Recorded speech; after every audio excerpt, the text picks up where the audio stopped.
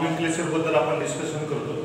त्याच्या याच्या अगोदरच्या लेक्चरमध्ये आपण डिस्कशन केला होता I P S C nomenclature of alcohol आणि त्याचबरोबर आपण कॉमन नेम पण आपण पाहिला.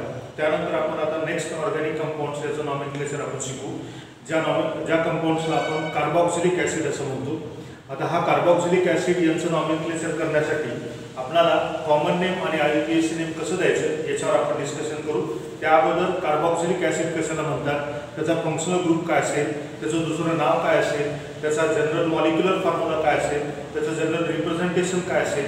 याच्याबद्दल आपण चर्चा करू आणि मग आपण त्याच्या कॉमन नेम आणि आय पी एस सी नेमकडे आपण जाऊ. तर आपण सुरुवातीला कार्बॉक्सिलिक ॲसिड म्हणजे ज्याला आपण म्हणता का कार्बॉक्सिलिक ॲसिड कशाला म्हणतो ते आपण डिस्कशन करू. Carboxylic acid.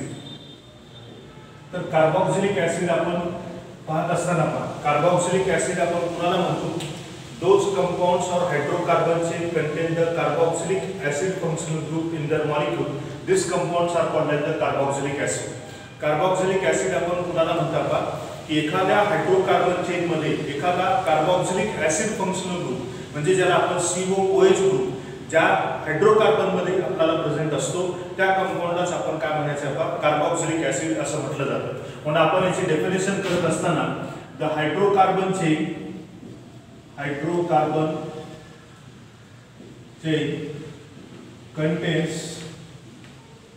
contains carboxylic acid functional group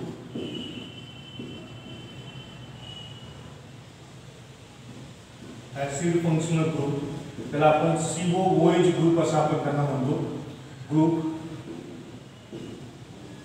in their molecule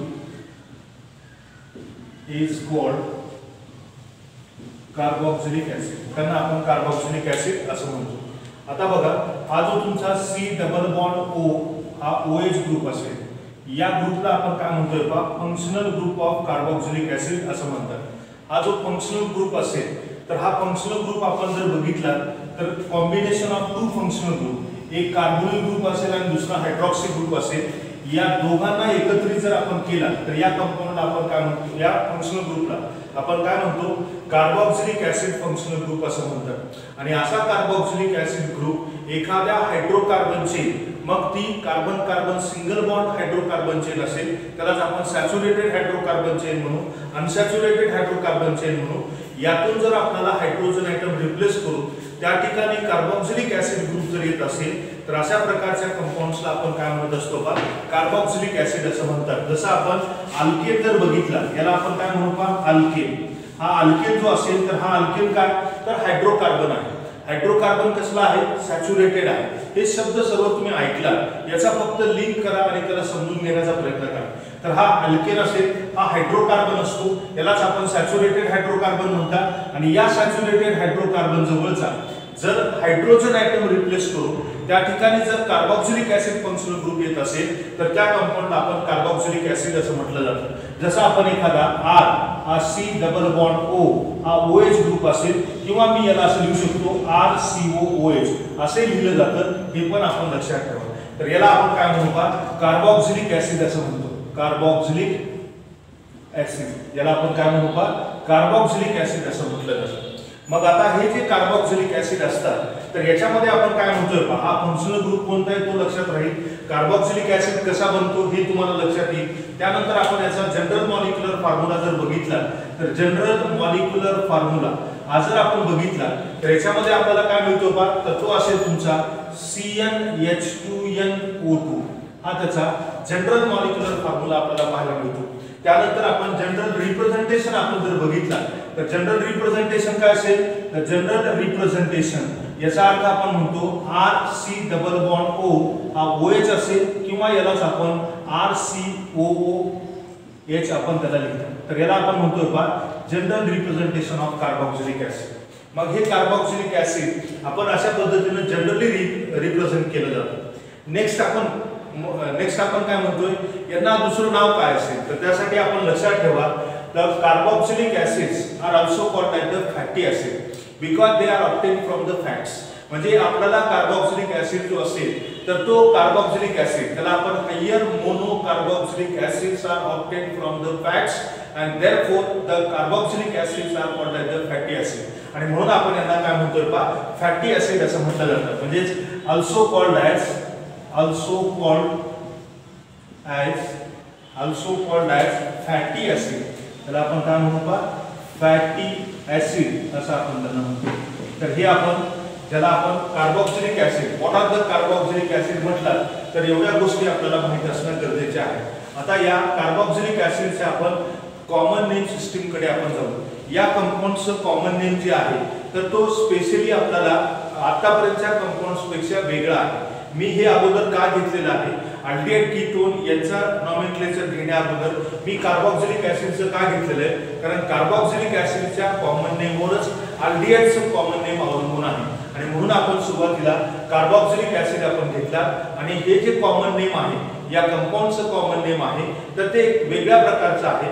आणि ते आपल्याला लक्षात ठेवणं फार गरजेचं आहे. त्यासाठी आपण पाहत असताना नेक्स्ट कन्सेप्ट आपण जाणार आहोत. त्याला आपण म्हणतो common name of carboxylic acid मग आता पहा हे कार्बॉक्सिलिक ऍसिड आपण लिहिलं. आता कशाला म्हणतात हे कळलं? त्यानंतर आपण नेक्स्ट आपण डिस्कस करू. त्याला आपण म्हणतात common name of carboxylic acid common name of carboxylic acid carboxylic acid किंवा यांना आपण काय म्हणू शकता? फॅटी ऍसिड असे आपण त्यांना म्हणतो. तर आता बघा हे आपण कॉमन नेम आपण पाहणार आहात. तर जनरली मित्र हो तुम्हाला माहीत असं की कोणत्याही ऑर्गॅनिक कंपाऊंडचं कॉमन नेम देत असताना एकतर त्यांचा फंक्शनल ग्रुप लक्षात घेतला जातो किंवा त्यांच्या स्ट्रक्चरच्या आधारावर आपण त्याचं नॉमेनक्लेचर आपण देतो. त्याचबरोबर आणखीन एक तिसरा फॅक्टर उपयोगात आणला जातो ज्याला आपण म्हणतात सोर्सेस म्हणजे ऑर्गॅनिक कंपाऊंड्स हे कुठून मिळाले? या या याच्या आधारावर पण आपण त्याचं कॉमन नेम आपण दिलेला आहे. आणि त्यापैकीच हा कार्बॉक्झिलिक ऍसिड जो असेल तर carboxylic common name of carboxylic acid are naming on the basis of their sources त्यांच्या सोर्सेसच्या आधारावरच आपल्याला त्यांनी कॉमन नेम आपल्याला कार्बॉक्झिलिक ऍसिडचं दिलेलं आहे. आणि म्हणून आपण लक्षात ठेवायचं आहे पा या ऑर्गॅनिक कंपाऊंडचं नॉमेनक्लेचर त्यांच्या त्यांच्या सोर्सेसच्या आधारावर आपल्याला दिलेलं आहे. म्हणून आपण पहिलं वाक्य आपल्याला याच्याविषयी माहीत असावं. त्याला आपण म्हणतोय पहा the common name the common name of carboxylic acid are given given on their sources याला आपण काय म्हणू शकतो पा सोर्सेसच्या आधारावर आपल्याला काय दिलेलं आहे? त्याचं नॉमिनक्लेचर आपल्याला दिलेलं आहे. मग सोर्स म्हणजे तो कुठून मिळाला? याच्यावर आपण नॉमिनक्लेचर केलेलं आहे. मग आपण याचं नाव देत असताना आपण पहिल्यांदा सोर्स आपण कोणता असतो? आणि सोर्स हे आपण ग्रीक लँग्वेजमधून आपण घेता आणि त्याला आपण आपल्या इंग्लिशमध्ये काय म्हणतात? आणि त्यावरून आपल्याला कॉमन नेम कसं बनलं? असा चार्ट तुम्हाला नक्की लक्षात ठेवणं फार गरजेचं आहे. हे मी तुम्हाला पुन्हा विचार सांगतोय. त्यासाठी आपण कॉमन नेम देत असताना आपण पहिल्यांदा जो कार्बॉक्झिलिक ऍसिड असेल तर तो कार्बनच्या संख्येवरूनच आपण ऑर्गॅनिक कंपाऊंड सिग्निफाय करत असतो. आणि त्यानुसार कार्बनची संख्या असेल त्याच्यानंतर तो कंपाऊंड कोणत्या सोर्सपासून मिळाला आणि त्यानंतर तुम्हाला कोणता सफिक्स उपयोगात आणला आणि त्यावरून त्याचं कॉमन नेम काय बनलं असं लिंकमध्ये तुम्ही लक्षात ठेवण्याचा प्रयत्न करा. आणि तुम्हाला माहिती आहे की यांचा कार्बोक्सिलिक ऍसिडचा कॉमन नेम सिस्टीममध्ये जो सफिक्स असेल तर तो सफिक्स आपण काय घेतो? आयसी ऍसिड आपण घेतला जातो. म्हणून आपण कॉमन नेममध्ये आपण काय करू शकतो आपण? Using the suffix using the suffix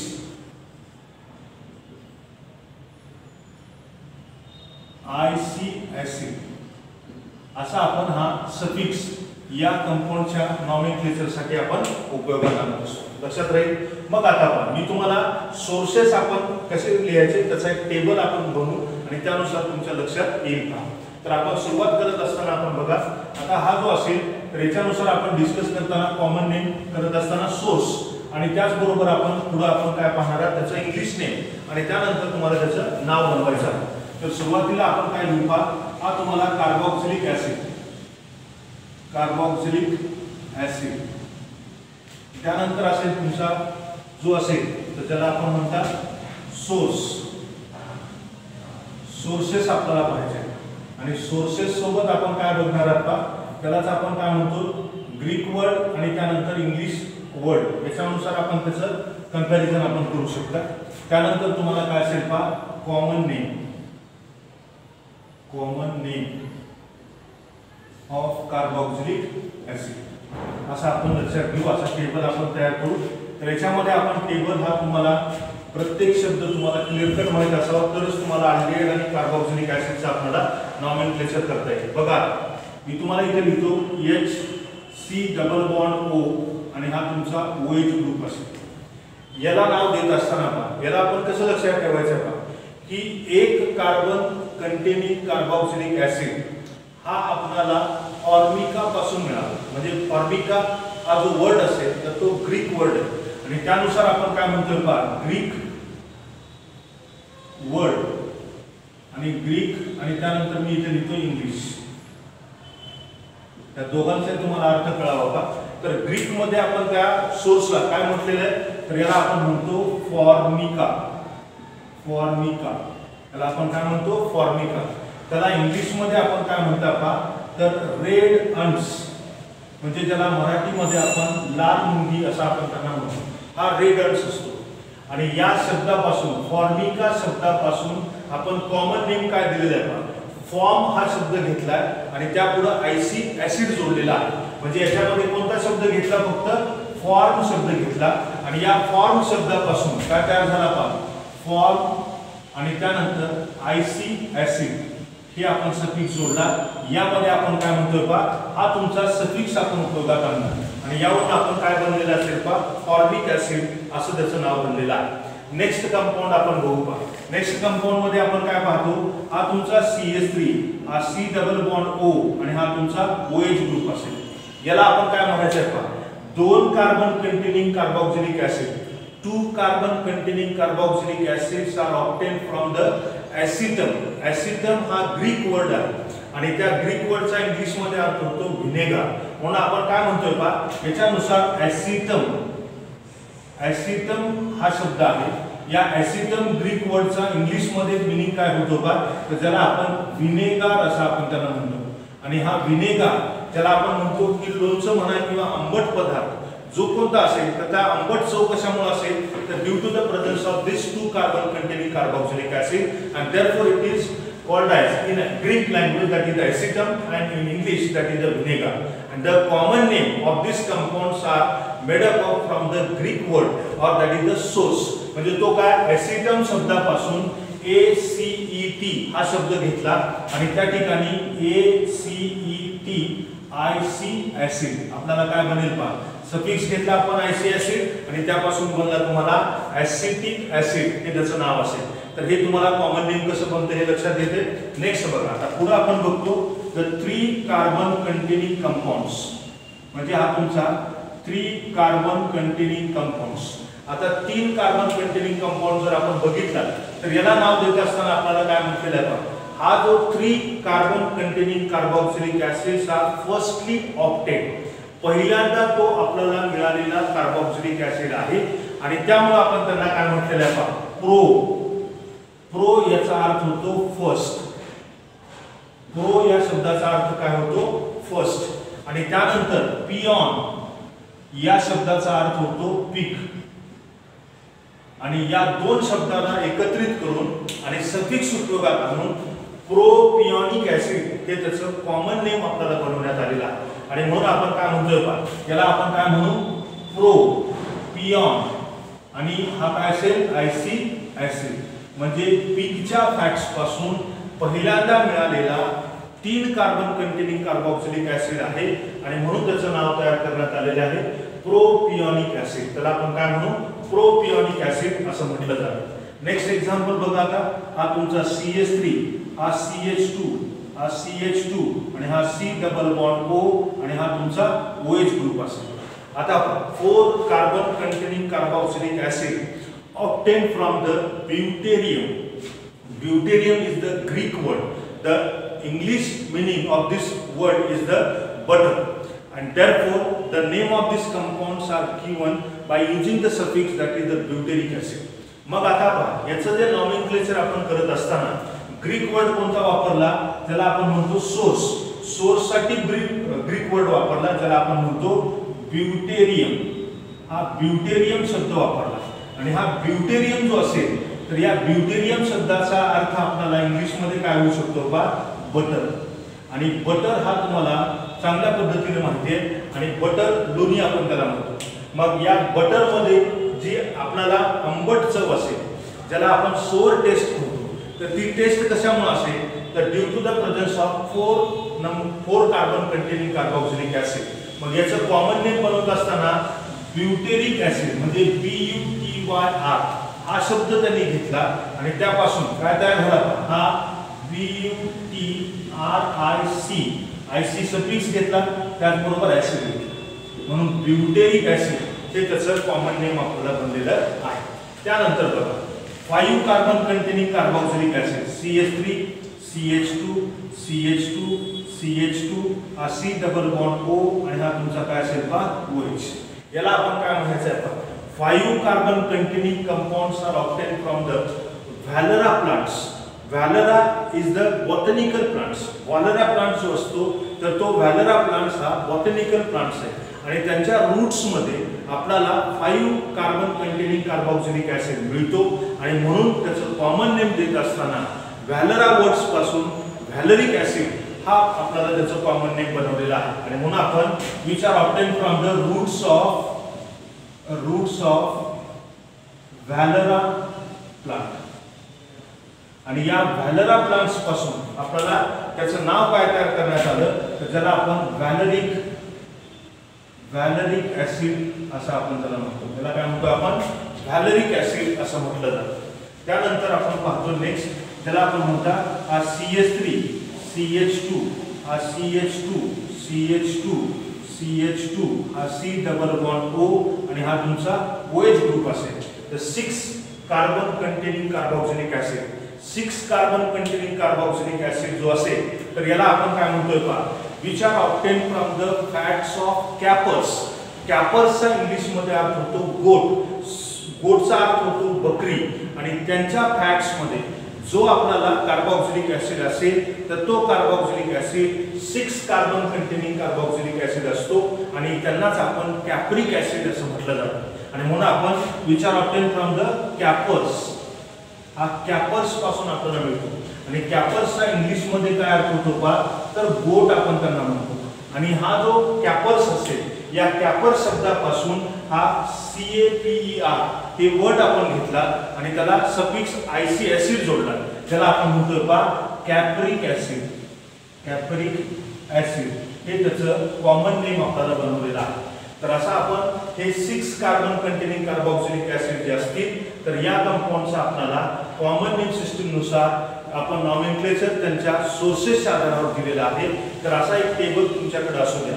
आता तुम्ही म्हणाल की सर याच्यापेक्षा जास्त कार्बन आयटम असणारे यांचं नाव कसं दिलेलं आहे? तर हे जे कंपाऊंड्स आहेत हायर मोनोकार्बोक्सिलिक ऍसिड जे असतात तर ते फॅट्सपासून मिळतात. आणि ते फॅट्स आपल्याला प्लांट्स किंवा ॲनिमल्स यांचे असतात यांच्यापासून ते मिळतात आणि त्यांना आपण एकत्रित त्यांना आपण फॅटी ॲसिड म्हणतो आणि त्याचं नाव द्यायचं असेल तर नंबर ऑफ कार्बन आयटमच्या आधारावर किंवा त्याच्या सोर्सेसच्या आधारावर त्याचे नॉमिनक्लेचर आपल्याला केलेलं आहे. तर कमीत कमी तुम्हाला एवढे कार्बोक्सिलिक ॲसिड हे मेंबर्स तुम्हाला त्यांच्या कॉमन नेमबद्दल आपल्याला माहिती असावी. तर हे कार्बोक्सिलिक ॲसिडचं आपण नॉमिनक्लेचर कॉमन नेम सिस्टमनुसार आपण शिकला तर हे कॉमन नेम तुम्हाला प्रत्येकाला माहीत असावं. एवढी विनंती करतो. आणि नेक्स्ट लेक्चरमध्ये आपण याचं I P S C nomenclature कसं करायचं त्याबद्दल आपण डिस्कशन करू. तर हे तुम्ही रोजच्या रोज आपण व्हिडिओ बघत जा. व्हिडिओ जरी तुम्हाला डिले होत असेल तर मागचे व्हिडिओ तुम्ही रेग्युलर पाहण्याचा प्रयत्न करा. तुम्ही नोट्स नोटबुक बनवा. आणि त्याचबरोबर ते नोटबुक तुम्ही मला व्हॉट्सअपवर जरी फोटो काढून टाकला तरी आपल्याला त्याची आम्हालाही समाधान मिळेल आणि तुम्हालाही आनंद मिळेल आम्हालाही आनंद मिळेल. आणि त्यानुसार आपण हे नॉमिनक्लेचर आपण कंप्लीट करू. धन्यवाद.